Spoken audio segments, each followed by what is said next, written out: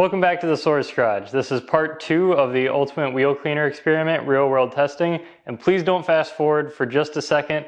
Give me two minutes here. I'm gonna be doing kind of a conclusion at the start of the video to save you some time and explain what you're going to see in the rest of the video uh, to definitely save you time and make this whole thing more efficient. So real quickly, what I did in the first video was take 10 of these cleaners that had iron removers in them, did 10 sections on a wheel, and you saw that there really wasn't any difference uh, to those 10 different cleaners, right? So then the second part of the video and what I have on here is you'll see I took 40 other cleaners with two different wheels that were broken into 20 sections and I showed you how, or you will see how all of those work if you want to. Spoiler alert again, there's not really any difference that you could tell. I also did, and these are the things you're going to want to see, is showed uh, water just by itself cleaning a segment, and you can see how effective that is. And I also, as the last thing I did, took five of these cleaners ranging from just a basic APC and super degreaser to a concentrated wheel cleaner and did five sections on one wheel where I hit each section multiple times and tried to get it as clean as I could with each of the cleaners. And again, couldn't tell the difference between all the sections ranging from simple super degreaser APC to a dedicated wheel cleaner. So that's the conclusion kind of for this whole real world testing here is between all of these products, there really isn't much of a difference. So I wanted to save you the time of watching all the other video content of me testing all of these. Um, you don't really need to. It's just there as proof, hey, I actually did it. Now, I would recommend you watch the water section and the very last section I did with the five sectioned wheel and I'll have timestamps below in the description. I don't have labels for all these in the video of every time I did one of them. It's gonna take too long to edit. It's not worth it for me to do it. I've got other things to do, but it's just there's proof that I did it. Now also make sure you watch the very end of the video, the conclusion, where I talk about all the other testing I'm going to be doing on all these other cleaners to really find out what differentiates them, the bottles, the sprayers, the cost, um, there's iron remover in them, the smell, uh, scent, you know, other uh, the other things that would differentiate these beyond just their cleaning power. So I'm gonna have a whole series on that, so please watch the conclusion at the end. And one last thing, I'm doing a giveaway for a wheel stand on another YouTube video I posted on this channel and also on the auto detailing Reddit. So you can enter the giveaway there. I'll have links to that in the video. And I've added to the store, you can buy just this base stand, no toggle clamp, no casters, for $200 now. And the casters and toggle clamps are add-ons for people who want just a base model. So thanks for listening to this quick rant at the beginning, and I hope you enjoyed the video. And like and subscribe to the channel for more of this uh, scientific content and breakdown of everything auto detailing and garage related. Welcome back to the Source Garage. This is part two of the real world wheel cleaner testing. So if you watch part one where I had this, uh, a different wheel split up into 10 sections and I tested 10 different wheel cleaners that had iron removers in them. Um, I'll put a link to that in the description below here, but this is part two where now I've got uh, these 20 products here and I've got another 20 on the table next to me. Uh, so I got 40 more to test still and I've split up this wheel into 20 sections and just a quick recap of exactly what I'm doing here. So to start with, going to spray down the wheel, get it all wet, rinse off any just light surface contaminants, and then go one section at a time, uh, spraying these into the taped off sections, which I have labeled. Uh, let them sit for 90 seconds after I do a bit of light agitation to work the wheel cleaners in, and then uh, do another agitation after they've sat, and then rinse them off and then see what's left there. And to avoid cross-contamination, I've been using plastic bags to set on either side uh, so that when I spray, I'm not getting the chemicals onto either or, or to other areas, uh, right? So I'm keeping it in one single channel. And then I have a, wash bucket over here too that I'll be uh, rinsing off the uh, uh, brush that I'll be using to uh, agitate with. So I'm trying to avoid contamination as much as possible. And I got my blower here too to dry it off so you can have a look at it right after it's done. And after I go around the wheel with all 20, I'll do another rinse, a final dry, and then a really in-depth look uh, comparing all the different sections of the wheels. Now, before I start this, like I said, these wheel cleaners, I think a couple of these may have iron removers in them, but most of them don't. And this wheel is obviously heavily embedded with iron. So what I may end up doing, and I've saved a fourth wheel for this, is I may end up doing a test where I spray the entire wheel down with an iron remover first, and then uh, come back with these cleaners and try and clean up stuff. So I'm to give this a shot with these 20 on here, see what it looks like, and that's what I've saved that fourth wheel for if I need to come back and do that, or I may even do it on the next wheel. So I'm to zoom the camera in here and get started with rinsing this off, doing the initial uh, spray down, and then get right into the testing. And like on the other video in the description below here, I'll have links to the timestamps if you want to see any of these cleaners specifically. I'll have them all listed out uh, and the timestamps when you can look at uh, what has actually happened. So get to it. So start out here, need to do a full rinse of the wheel.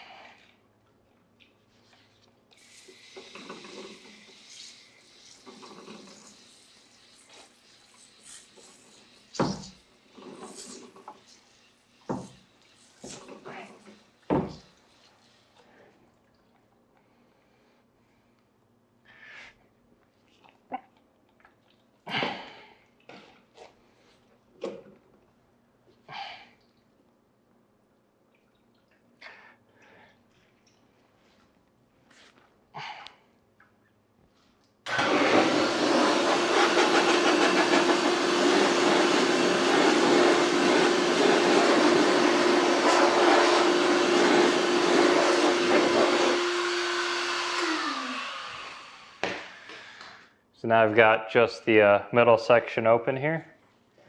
Get my Griot's wheel cleaner.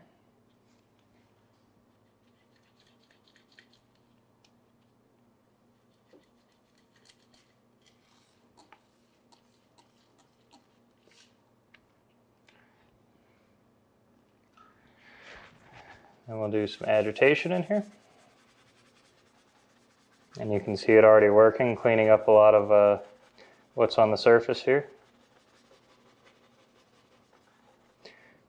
And we'll let that dwell.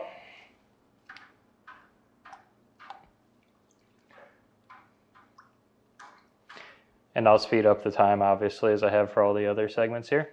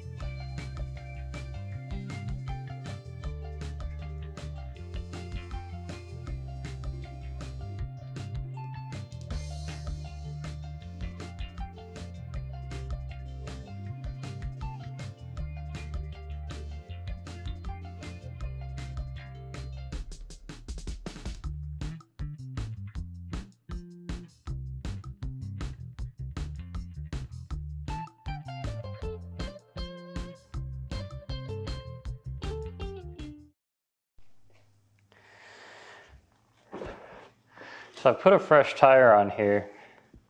And this section right here, I'm literally just gonna hit with nothing but a brush and water.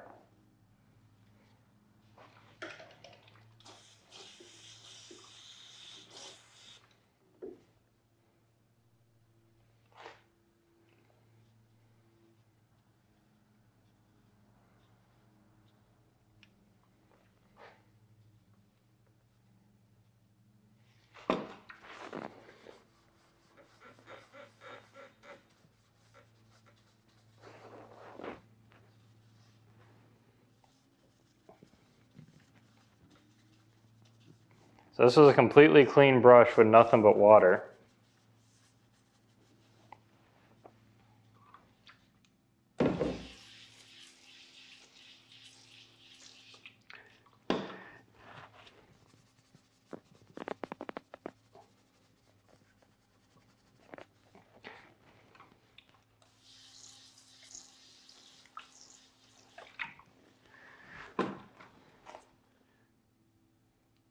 So, how effective is water? I mean, look at that.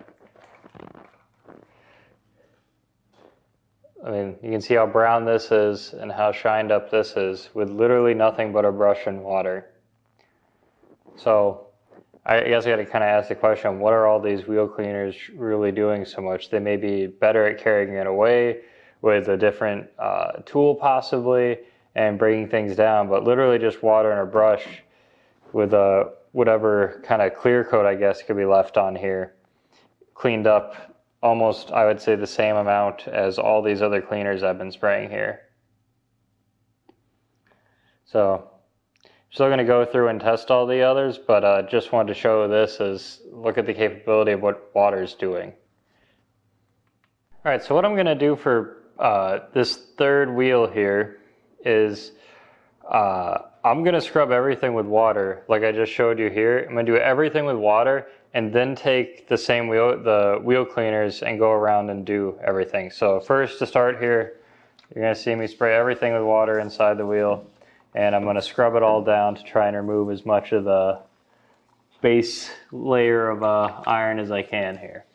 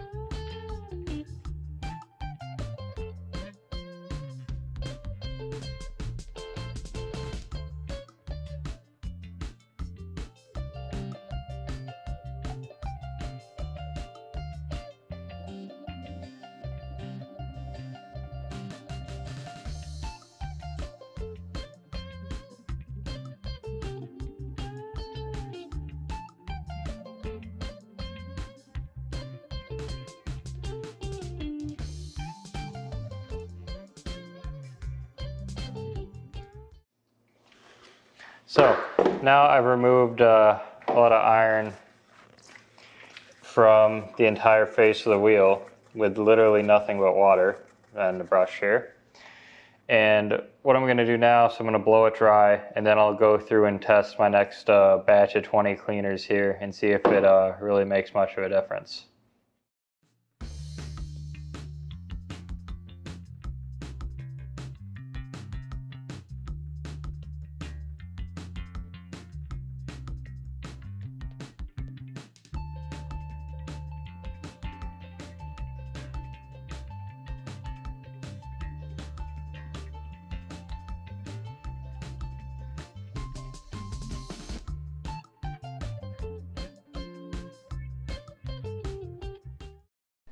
All right, so I'm gonna go a little faster for this round here.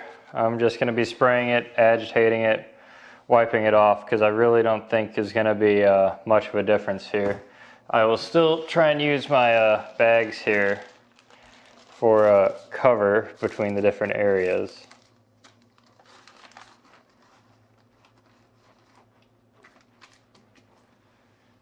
But I'll have to see here.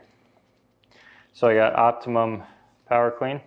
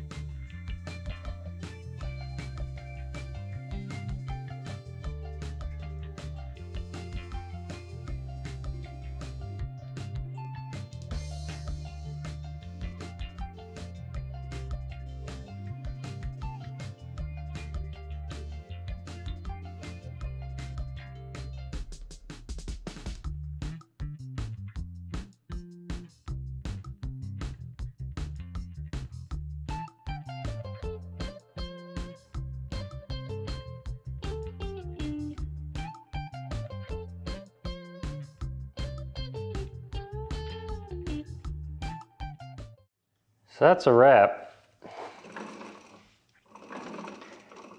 And like all, they all did, after washing them all off with water, like, they all look good. They, they need to be really, the tape needs to be removed. I really need to get to scrub where the brush is getting blocked by the tape. But the middle sections, for the most part, all look good. All right, I have to back the camera off here and kind of have a discussion about this. So I'm grabbing the light here in the wheel. I'm gonna take you over to where I got the uh, other two wheels here.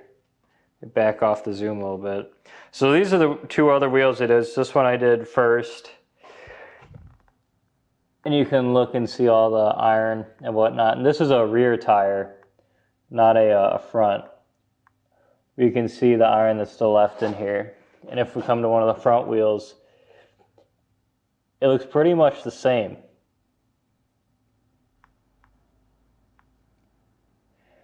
There's always iron up by the front here, not so much in the middle, and some pitting. And with this wheel here too, pretty much the same, seeing the same thing, where the inside's pretty clean, more iron buildup by the front here and along the edges of the tape. This one's a bit cleaner because I hit it twice, right? I hit it with the water and I went through and cleaned up as much of the top iron as I could, and then I came through with the cleaners, and everything's done a nice job. So let me let me mount the camera here and kind of talk about this. All right, so after I've done all this testing, I've used 50 different cleaners now on different segments of the wheel, and really not seeing uh, what I would call a significant difference between them, or at least the way I'm testing right now is not showing a significant difference between them. Um, all the cleaners seem to be working in relative the same fashion. They're all cleaning most of the iron off the top. I mean, you saw how effective even just water was, and none of them are really standing out the way you would think they would when you come when you would think of like the marketing and advertising, like oh how strong this is, how powerful, how great a job this does at cleaning. And so what I'm going to try and do here now to maybe try and give these more of a chance to stick out rather than using little segments so I'm going to take the tape off this wheel, the other two wheels, and I've got one wheel I haven't touched yet. And what I'm going to do with the one wheel I haven't touched yet is I'm going to split it into four different sections instead of the like the 20 I've done here. And looking at just those four sections, we'll see if I can tell a difference. I'm going to pick out four cleaners here, and that way I'll give them more of a chance. And I'll clean the whole wheel, maybe hit it with two or three passes instead of just one take, and see if I can actually tell a difference in how they're performing.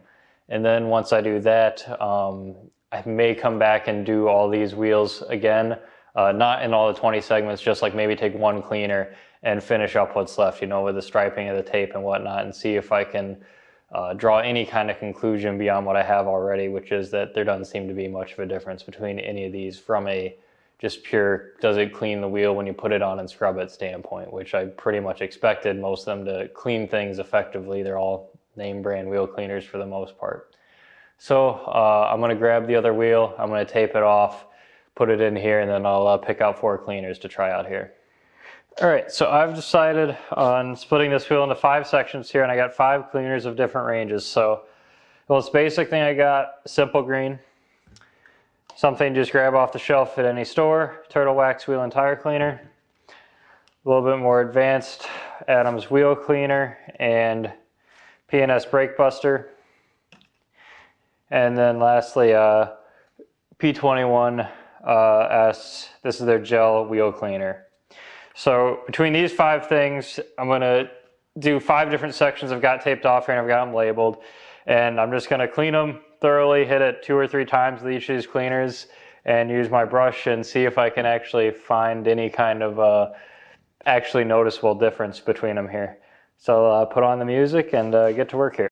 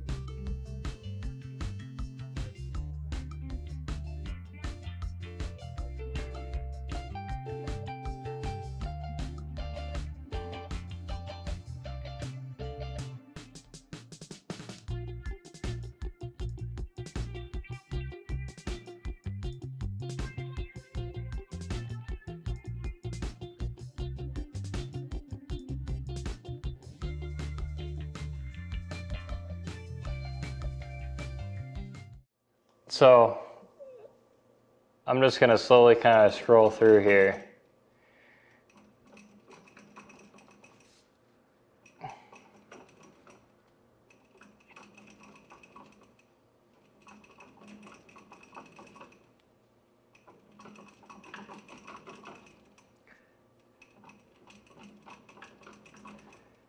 And really, there I can't tell any difference between these. If you took the labels off and asked me, did I use one cleaner or five different cleaners here, I would have no way to tell. They all have this pitting still. Uh, there's still some more iron up in the front here, especially anywhere I dull the light, you can see more of the light come, or more of the iron come through. So I really am just not seeing any difference between these cleaners at all in any capacity. All right, so to summarize everything I've seen here with all the testing that I've just done, really I have to say in conclusion that there's no real discernible difference from purely a cleaning perspective of all these different wheel cleaners I've tried. I mean, really the, the final test or conclusion you can see here with the five that I just did, uh, ranging from just an all-purpose cleaner to the more boutique type cleaners, um, and there's no difference that I can see. I mean, you saw how effective water was in a previous segment where it did a pretty good job of removing most of the contaminants on the top. I mean, not as effective as stuff with an iron remover and all the detergents, but it got 80% of the job done by itself, just water uh, and some good scrubbing. So what really has to separate all these other products apart then has to be all the other things that are not just the straight cleaning. And what I mean by that is obviously price, so how much product you get uh, for your dollar and how far does that go? How many wheels can you do with it? And things that affect that, right, are stuff like the foaming ability. Does it spray and mist across the whole wheel? Does it cling properly? Does it come out in just a sludge?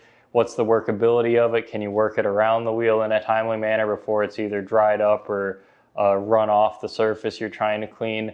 Um, you have the iron remover capability, which really didn't come into play a whole lot today, even though there was a ton of iron on here. I got to hit the rest of these now again to get them truly properly cleaned up for my uh, project I'm doing here. But there's that other stuff that's going to determine the the best product. And so I'm going to be breaking down all that still in a bunch of other tests I got. So I got Petri dishes where I'm going to be doing, um, I have rust iron oxide, just powder that I'll be putting in dishes with all these products to see which ones actually have the iron uh, removing uh, chemicals in them because some of them say on the MSDS, some of them I can't get a hold of. Some of them smell, some of them don't. So I'm going to put all those through that test. I'm going to see how corrosive they are. So I'm going to put some just like zinc plated like nuts and bolts uh, and like washers and aluminum stuff into a petri dish and see with these chemicals if I let them sit for an hour or a day, how much corrosion do they get? I'll be breaking down the cost of everything, be doing a, a, spray and like a cling test to see how they actually come out of the bottles what sprayers are provided and how far I could think you could get with them. Could you do 20 cars? Is it five cars? Uh, depending upon how the sprayer actually works. So you, you know what you're getting for your money that you're putting into all these cleaning products. Um, so yeah, I, I think I'm trying to do the most extensive wheel cleaner testing possible. The, the next test I'd like to do as far as real world kind of testing beyond what I've done here is how effective can these cleaners be with uh, like little to no agitation whatsoever. Uh, and that typically wouldn't be done right if you pull the wheels off. I'm talking like wheels are left on. Can I spray something on, let it sit for two minutes, pressure wash it off, and which thing would clean the most? And that's going to be kind of hard to do uh, because right products run so I couldn't split up a wheel into 10 sections spray 10 sections let it sit they're all going to run onto each other. So that may be a more long-term thing or have to come up with some other way to do a test like that but that'd be the next level right? What's the best product I can spray on let it sit spray it off and it's cleaned as much as possible without even agitating although I still would think agitation is absolutely necessary for the best cleaning. So I think that's enough of a ramble for a conclusion to all this so uh, if you liked all the content I've done here, please subscribe to the channel, leave a like, comment, tell me what I've done wrong, uh, what I could do different, what other tests you want to see done to this. I mean, I've got 50 products here. I'm not going to blow on the two vehicles I have, so I got uh, tons of time and energy and products to do more testing with. So if you followed along this whole time, uh, thanks for watching.